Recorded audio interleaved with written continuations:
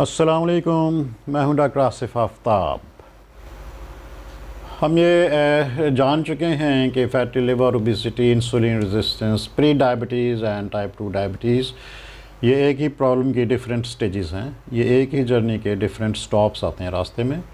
جتنی جلدی ممکن ہو، ہمیں واپسی کا سفر شروع کر دینا چاہیے، بجائے اس کے کہ ہم ٹائپ ٹو ڈائبٹیز پر پہنچنے کا انتظار کرتے رہیں۔ بیسیکلی ہم کبھی اس انسولین ریزسٹنس کو ڈائگنوز کرنے کی کوشش ہی نہیں کرتے۔ اس لیے یہ جو یہاں سے ادھر کا ایریا ہے، یہ ایک بلائنڈ سپاٹ ہے قسم کا۔ یہ ہمیں نظر نہیں آ رہا اور یہاں پہ کیونکہ ہم بلڈ گلوکوز اور H A one C values کروا لیتے ہیں، تو یہ ایک ویزیبل ایریا ہے۔ اور اس لیے بلا مبالغہ ہی کہا جا سکتا ہے کہ اباؤٹ نائنٹی فائیو پرسنٹ جو مریض ہیں ان کو یہ پتہ ہی نہیں ہوتا کہ وہ انسولین ریزسٹنس سٹیج میں داخل ہو چکے ہیں۔ مزید یہ بھی ہے کہ بلڈ گلوکوز لیول جو ہے، وہ اس لمحے کی بلڈ گلوکوز ویلیو بتا رہا ہے، جس لمحے وہ سیمپل لیا گیا۔ اب blood glucose level throughout the day fluctuate کرتا رہتا ہے، اوپر نیچے ہوتا رہتا ہے، اس لیے اس لمحے کی اس یہ بلڈ گلوکوز لیول شو کرے گا، جس لمحے وہ سیمپل لیا گیا۔ اس لیے یہ بلڈ انسولین ریزسٹنس ہے یا نہیں ہے، اس کے بارے میں کوئی اوتھینٹیسٹی نہیں دے سکتا میں۔ اور دوسرا یہ بھی ہم uh, ڈسکس کر چکے ہیں کہ یہ blood glucose level insulin resistance کے ہوتے ہوئے up to fifteen years normal he show ہوتا رہے گا۔ اسی طرح H B A one C test ہے۔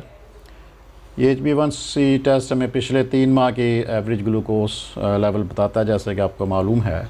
لیکن یہ بلڈ گلوکوز لیول اور بلڈ انسولین لیول کے باہم تعلق کے بارے میں ہمیں کوئی انڈیکیشن نہیں دیتا اور یہ کوئی اوتھینٹسٹی سے ہم اس کو انسولین ریزسٹنس اس کی بیس پر ڈائگنوز نہیں کر سکتے۔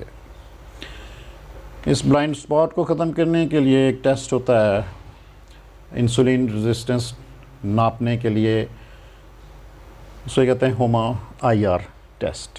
HOMA I R بنا homeostatic model assessment of insulin resistance. یہ اس کا ایک سمپل سا فارمولہ ہے۔ Fasting blood glucose level milligram per D L unit میں لینا ہے اور fasting blood insulin level from the same sample. ایک ہی سیمپل سے دونوں ٹیسٹ ہوں گے۔ اس کے یونٹ ہم نے لینے مائکرو یونٹ پر لیٹر ان دونوں کو ملٹیپلائی کریں اور اس پروڈکٹ جو بھی ہے اس کو فور ہنڈریڈ اینڈ فائیو سے ڈیوائڈ کر دیں تو ایک نمبر ہمارے پاس آ جائے گا. اس نمبر پہ ہم پھر اس کو ڈائگنوز کرتے ہیں کہ انسولین ریزسٹنس ہے یا نہیں ہے.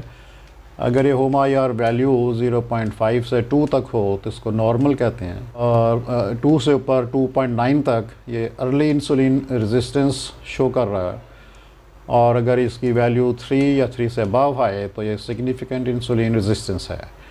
جتنی ہوما آر کی ویلیو اوپر جاتی جائے گی، اتنی انسولین ریزسٹنس بڑھتی جائے گی۔ اس کیس میں آپ یہ دیکھیں کہ گلوکوز لیول بڑھے یا انسولین لیول بڑھے؟ In both the cases HOMA R value یہ انکریز کرے گی۔ تو یہ دو چیزوں کا باہمی جو ریلیشن ہے، وہ اس ایکویشن میں شو ہوگا اور اس کی بیس پر ہم انسولین رجسٹنس کو ڈائگنوز کر سکتے ہیں۔ اس میں اور بھی ایک بات نوٹ کر لیں کہ فاسٹنگ بلڈ انسولین لیول جو ہے، وہ ٹو پوائنٹ سکس سے ایٹ تک مائکرو یونٹس پر لیٹر تک یہ نارمل ہے اور fasting blood glucose level eighty سے one hundred milligram per D L تک اس کو نارمل سمجھا جاتا ہے۔ یہ تین سینیریوز بنائے ہیں، ذرا غور کیجیے گا۔ فرسٹ کیس میں ہم پیشنٹ آیا، اس کا ہم نے سیمپل لیا۔ فاسٹنگ میں اس کا fasting blood glucose level ninety آیا اور fasting insulin level four point five آیا۔ ان ویلیوز کو اس فارمولے میں ہم نے فٹ کیا اور جو ویلیو آئی ہمارے پاس وہ ون آئی۔ ون کا مطلب ہے کہ یہ انسولین سینسٹیو پیشنٹ ہے اس کو انسولین ریزسٹنس نہیں ہے، اس کا H B A one C normal show ہوگا۔ کروا کے دیکھیں گے تو۔ یہ سیکنڈ سنیریو ملاحظہ فرمائیے، اس میں فاسٹنگ بلڈ گلوکوز لیول اس شخص کا ایٹی فائیو آتا ہے اور اس کا فاسٹنگ انسولین لیول ٹین پہ آتا ہے۔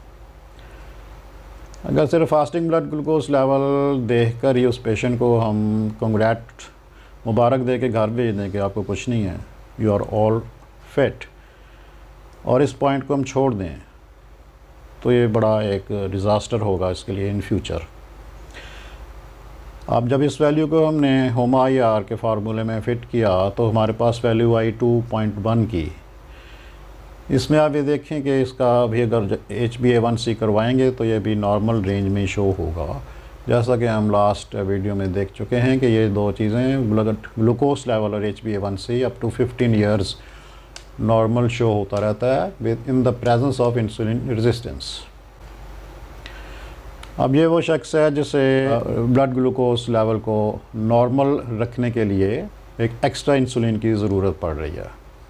ایٹ تک یہ لیول نارمل ہے but he needs more than eight micro units to maintain this blood glucose level تو یہ بندہ انسولین ریزسٹنس سٹیج میں انٹر ہو چکا ہے جو گو کہ یہ ارلی سٹیج ہے ٹھیک ہے جی ایک تھرڈ سنیریو دیکھیں اس میں بھی ایک شخص پیشنٹ آیا اس کا ہم نے سیمپل لیا بلڈ گلوکوز لیول فاسٹنگ میں اس کا ہنڈریڈ شو رہا جو کہ نیئر نارمل ہے لیکن اس کا انسولین جو فاسٹنگ بلڈ انسولین لیول ہے وہ ٹوینٹی پہ آئے گا، اگر آتا ہے۔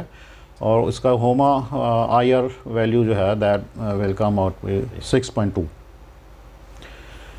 اس کیس میں بھی fasting blood glucose level normal یا نیئر نارمل ہے but at the expense of very high insulin level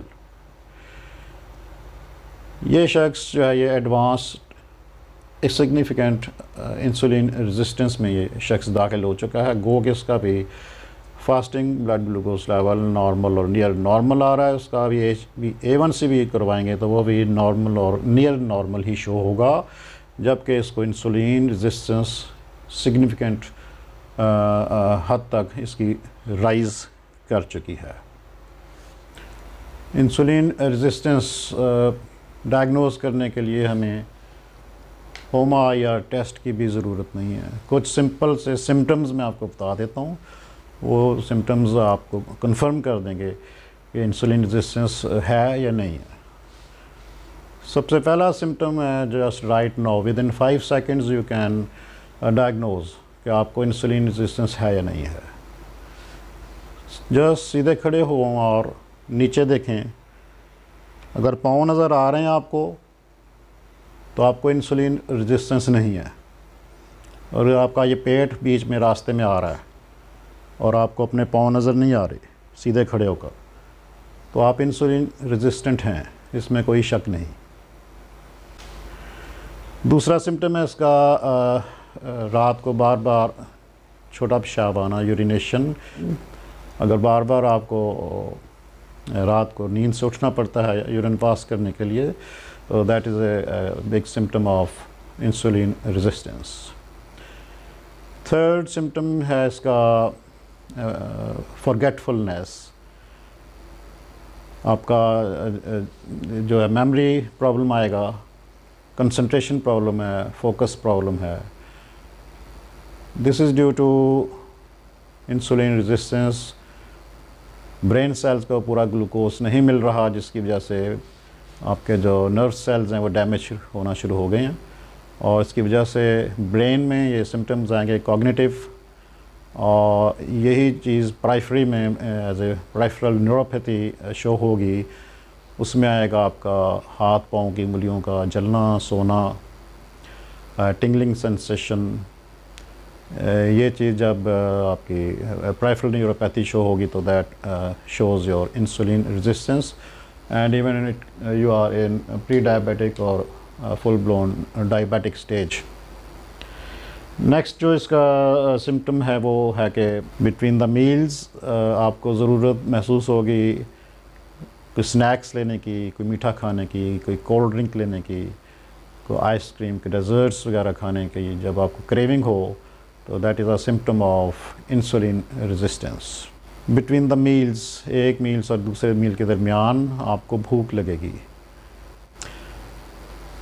next symptom ہے اس میں ایک مین میل لینے کے بعد you will feel very down weakness show ہوگی یو آپ کو نیپ لینے کی ضرورت محسوس ہوتی ہے اسپیشلی آفٹر لنچ لنچ کے بعد نیند کا غلبہ ہو تو یہ انسولین رزسٹنس کا ایک سمپٹم ہے اس سے پچھلی ویڈیو آپ اس چینل کی پلے لسٹ جس کا ٹائٹل ہے treating fatty liver and diabetes میں دیکھ سکتے ہیں۔ آج کے لیے بس اتنا ہی۔ نیکسٹ ویڈیوز سے ہم ڈسکشن شروع کریں گے۔ ان تمام پرابلم سے کو ریورس کرنے کے لیے ڈائٹری مینجمنٹ کے بارے میں۔ تو نیکسٹ ویڈیوز بھی امپورٹنٹ ہونے والی ہیں۔ جیتے رہیے اور فٹ رہیے۔ لیو فٹ چینل کے ساتھ جڑے رہیے۔ ٹل نیکسٹ ویڈیو اللہ حافظ